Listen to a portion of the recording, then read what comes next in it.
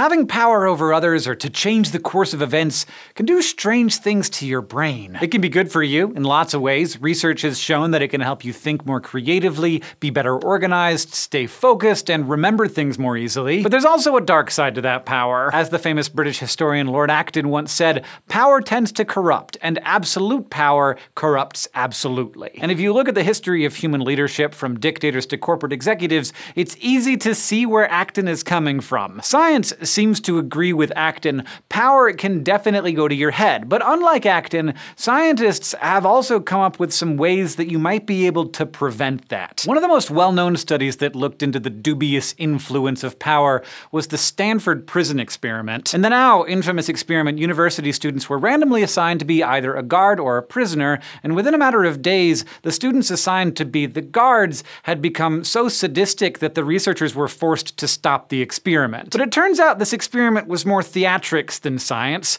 According to a recent interview with the lead researcher and one of the study participants, the guards were told to act cruel, and the harrowing prisoner breakdowns were at least partly the result of some dramatic acting. There's still plenty of evidence that power corrupts people, though. One study, now called the Cookie Monster study, found that people in positions of power were more likely to be greedy. In the experiment, researchers divided people into groups of three, and with one person randomly chosen to be the leader. The groups then did some simple tasks, and when they were done, the researchers brought in a plate of four cookies. And surprise, surprise, the person who was chosen to be the leader was more likely to take a second cookie. I can uh, tell you from my experience that I am the one who will have the second cookie in this office. Taking a second cookie might not seem like a big deal. It's certainly not the same as a dictator deciding to keep extra taxes for themselves in their Swiss bank account or something. But it is an example of someone in a position of admittedly minor power acting in their own personal interest when there are limited resources. Researchers also noticed that the leaders ate differently, tending to chew with their mouths open and getting more crumbs all over the place like Cookie Monster. Another study asked some people to write about a time when they had power over someone else, while others were told to write about a time when someone had power over them.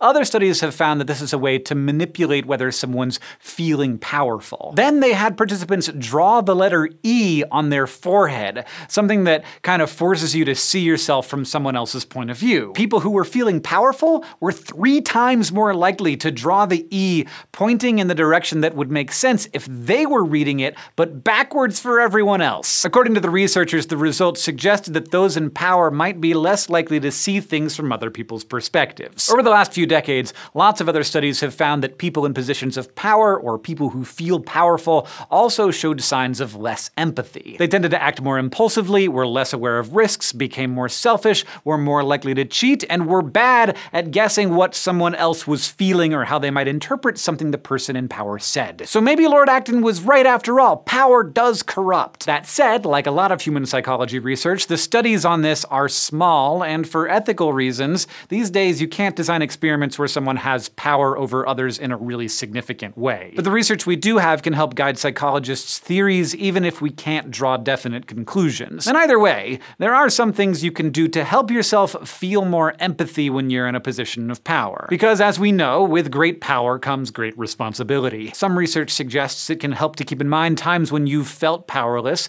and becoming more self-aware could be useful too. Other experts recommend reflecting on compassion, like by doing compassion meditation, where you try to create an emotional state of kindness and empathy. If nothing else, the world can always use a little more kindness. Do I feel like the staff gave me this script for a particular reason? We're hoping not. But it doesn't matter. I've fired them all and I've ate the last cookie. Thanks for watching this episode of SciShow Psych. Speaking of kindness, if you're part of our Patreon community, thank you for helping us keep making episodes like this. We couldn't do it without your support. If you're not yet a patron and you want to learn more about that, you can go to patreon.com slash scishow to find out more.